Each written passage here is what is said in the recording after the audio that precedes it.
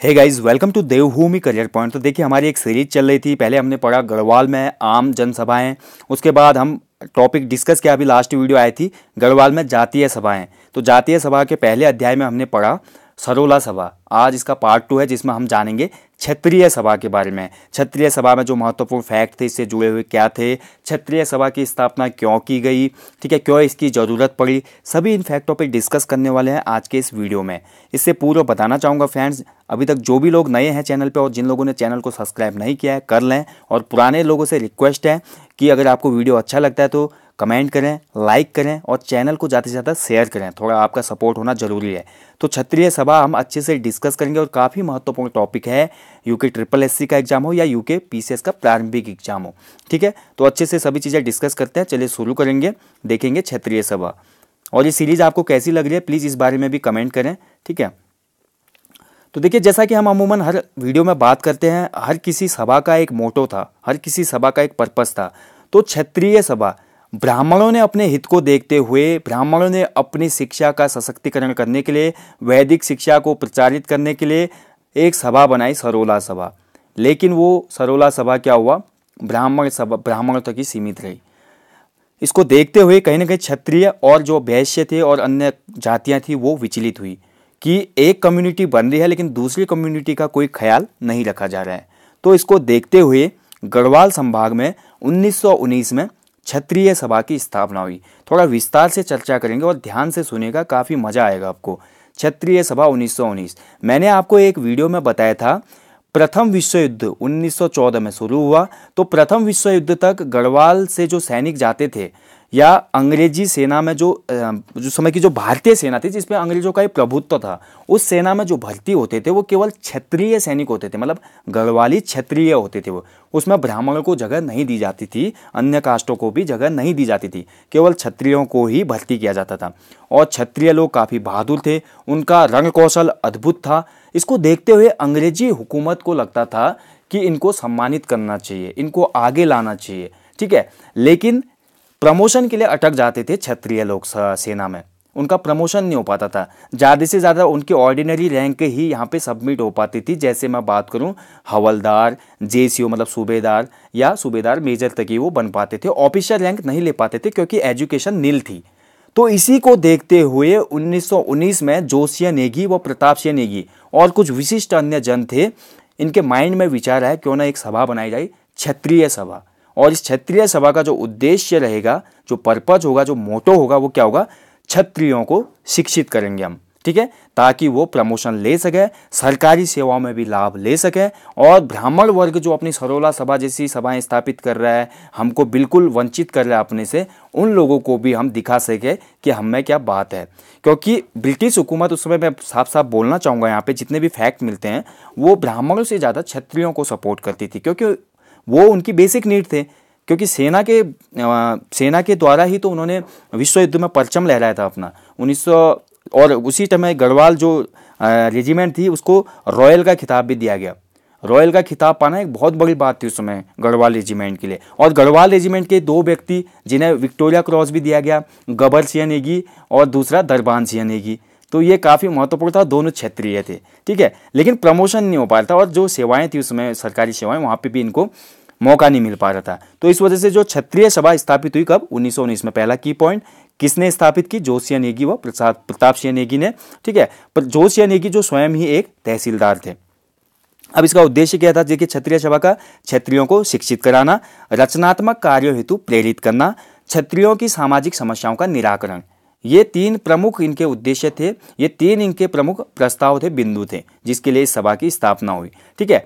और दूसरा, देखिए, सरोला सभा अपने हित में ही काम कर रही थी, और अपने जितने भी उसमें गढ़वाल में, आप बोलो, पाठशालाएँ थी या जो स्कूल थे, वहाँ पे ब्राह्मण वर्ग के ही बालक ज़्यादा शिक्षा अर्जित कर रहे थे। ठीक है, क्षत्रियों को कम मौका मिल रहा था। तो इसको देखते हुए भी कहीं ना कहीं इन्होंने भी निर्णय लिया कि हम भी अब स्कूल खोलेंगे, पाठशालाएँ खोली जाएँगी।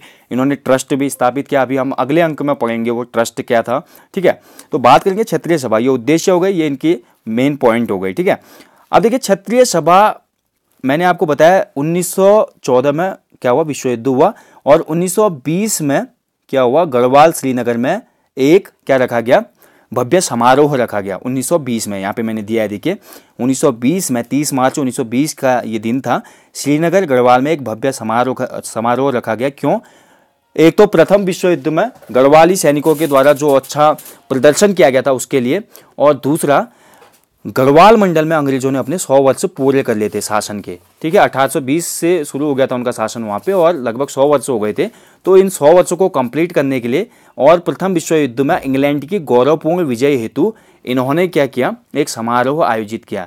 लेकिन सबसे वहाँ पे रोचक बात ये रही, समारोह में जो वहाँ पे लोग बैठे होते हैं जिनको सम्मानित करना होता है उनकी जगह पे जो प्रथम लाइन थी, दूसरी रो थी, तीसरी रो थी, वहाँ पे सब ब्राह्मण वर्ग के लोग बैठे थे। इसको देखते हुए उस समय का जो तत्कालीन कमिश्नर था, कमिश्नर विंडम, उसने एक लाइन बोली थी, जो कि महत्वपूर्ण है। जिनके सम्मान में ये अधिवेशन है, वो तो कहीं दिखाई ही नहीं दे रहे हैं। ये लाइन थी कमिश्नर विंडम की, तीस मार्च उन्नीस सौ बीस को। ठीक है? तो इसके बाद थोड़ा और तेज हो गई चिंगारी। तेज हुई, उसके बाद पत्रकारिता का दौर चला क्षत्रिय सभा में और क्षत्रिय सभा जो बनाए गए क्षत्रियों ने क्या किया, उसके बाद शिक्षा के प्रति अपनी रुचि दिखाई और शिक्षा को ग्रहण करने लगे ये लोग, ठीक है? और उसके बाद इन, देखिए, इसी बीच में एक पत्र आया इनका, महत्वपूर्ण है, क्षत्रिय वीर पत्र ठीक है? 1922 में शुरू हुआ है ये पक्षांक था, पक्षांक मतलब महीने में दो बार आता था, ठीक है? और इसके जो संपादक थे, वो थे प्रताप सिंह नेगी, जो स्वयं ही वहाँ पे रह चुके थे किसके? क्षत्रिय सभा के संस्था स्थापना में महत्वपूर्ण भूमिका निभाई थी जिन्होंने। ठीक है? तो क्षत्रिय वीर पत्र कब आया था? 1922 में और इसके संपादक थे प्रताप सिंह नेगी। ठीक है? और इसके माध्यम से इन्होंने क्षत्रियों में शिक्षा के प्रति जागरूकता और इसके साथ साथ अपने जो उनके उनके साथ जो अहित हो रहे थे उसमें, ठीक है, उनको मौका नहीं मिल पा रहा था, प्रमोशन नहीं हो पा रहे थे, सरकारी नौकरियों में उनको मौका नहीं मिल पा रहा था, कम एजुकेशन की वजह से। सभी चीज़ें इसमें डिस्कस की गई। ठीक है? इसको देखते हुए देखिए, गढ़वाल में दो स्नातक हुए, शालिग्राम सिंह परमार और जयकृत सिंह नेगी। ये पहले दो स्नातक व्यक्ति थे जिन्हें डिप्टी कलेक्टर चुना गया। ये महत्वपूर्ण बात है। देखिए, क्वेश्चन बन सकता है, गढ़वाल से पहले क्षत्रिय कौन थे जो डिप्टी कलेक्टर बने थे? वो थे शालिग्राम सिंह परमार और जयकृत सिंह नेगी। महत्वपूर्ण है। और देखिए, सबसे जो जोत सिंह नेगी हैं, तहसीलदार रह चुके थे, मैं बता रहा हूँ आपको, ये भी क्षेत्रीय वर्ग से मैं बोल सकता हूँ, पहले तहसीलदार पद तक पहुँचने वाले व्यक्ति थे। और देखिए बेगार समस्या के हल के लिए कुली एजेंसी, जो कि 1908 में स्थापित की गई, ठीक है? बेगार समस्या के हल के लिए जो कुली एजेंसी 1908 में स्थापित की गई, वो ज्योतिषिया नेगी के द्वारा ही स्थापित की गई। आपको पता है कुली बेगार प्रथा भी हम अच्छे से डिस्कस करेंगे और मैं हर बार आपको बता चुका हूँ कुली बेगार प्रथा क्या थी। मतलब बिना मजदूरी कर दिए हुए या बिना मजदूरी का भुगतान किए हुए कार्य करवाते थे स्थानीय लोगों से अंग्रेज़ी हुक्मरान। ठीक है? तो इसका विरोध किया और इसको देखते हुए कुली एजेंसी की स्थापना की थी जोशिया नेगी ने और इन्होंने रेट भी तय किए थे मतलब जो हम श्रमिक देंगे अपनी तरफ़ से तो आपको इतना पेड करना पड़ेगा, ठीक है? तो एक हिसाब से कुली जो बेगार प्रथा थी, उसका अंत हुआ था सरयू तट पे, मकर संक्रांति 1921 में। लेकिन कुली एजेंसी ने कहीं ना कहीं नींव डाली थी इस कुप्रथा के खिलाफ एक हिसाब से आवाज़ उठाने के लिए, ठीक है? तो आपको इतना याद रखना है, की पॉइंट ये बनना है इसमें, देखिए। कुली एजेंसी 1908 की स्थापना किसने की थी? 1908 में स्थापना हुई जोशी नेगी द्वारा। तो यही था बस क्षत्रिय सभा, में बता चुका हूँ। क्षत्रिय सभा, गढ़वाली क्षत्रिय जो लोग थे, इन्होंने अद्भुत वीरता का परिचय दिया था, हमेशा सेना में। और इसी को देखते हुए ब्रिटिश इनसे काफ़ी खुश थे। तो अपने पोजीशन के लिए, अपने समाज में सशक्तिकरण के लिए, अपने लोगों को शिक्षित करने के लिए ये सभा स्थापित हुई थी। क्षत्रिय सभा। बस इतना ही पर्पज़ था इनका, बाकी कुछ नहीं था। लेकिन इससे काफ़ी दिक्कतें हुई। वहाँ सरोला सभा बन गई, ब्राह्मणों की, यहाँ क्षत्रिय सभा बन गई। तो इससे क्या हो रहा था कि थोड़ा गढ़वाल में आपसी ईर्ष्या और मतभेद ज़्यादा हो रहे थे समाज के वर्गों में। ये इसका एक रीजन रहा, एक मेन पॉइंट रहा वीक पॉइंट रहा। ठीक है? अब थोड़ा आगे बढ़ेंगे, देखिए। और 1920 तक, देखिए 1919 में स्थापना हुई और 1920 तक इसके चार जगह नई समितियाँ खुल गई थी, गढ़वाल क्षेत्रीय सभा की, चमोली, चक्राता, शिमला और लाहौर में, क्योंकि लाहौर भी उस समय भारत का ही हिस्सा था, ठीक है, भारत विभाजन नहीं हुआ था तो लाहौर हो गया, शिमला उसमें ये पर्वतीय अंचल का ही प्रदेश माना जाता था तो शिमला में भी क्षत्रिय सभा स्थापित की गई, चमोली, चक्राता तो यहीं स्थित है तो आ सकता है, सीधे क्वेश्चन बन सकता है यूके पीसेस के लिहाज से मैं क्वेश्चन बना रहा हूँ कि 1920 में किन जगहों पर क्षेत्रीय सभा की समिति स्थापित की गई थी?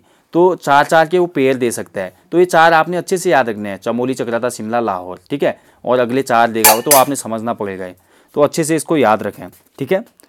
तो गाइज़ बस यही है। अगले अंक में अब हम पढ़ेंगे गढ़वाल क्षेत्रीय छात्रवृत्ति ट्रस्ट। जैसा कि मैं आपको बता चुका हूँ, जो गढ़वाल क्षत्रिय सभा है, इसका मोटो था गढ़वाली क्षत्रिय वर्ग को शिक्षित करना। इसके लिए इन्होंने गढ़वाल क्षत्रिय छात्रवृत्ति ट्रस्ट की भी स्थापना की। इसके कुछ मूल बिंदु और मेन जो तथ्य हैं, वो पढ़ेंगे अगले अंक में। So guys thank you for watching video कैसा लगा प्लीज़ कमेंट करें लाइक करें शेयर करें।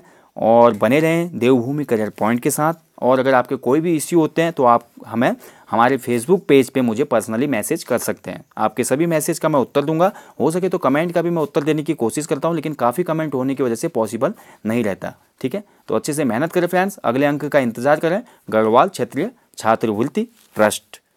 मिलेंगे नेक्स्ट अंक में। जय हिंद, वंदे मातरम।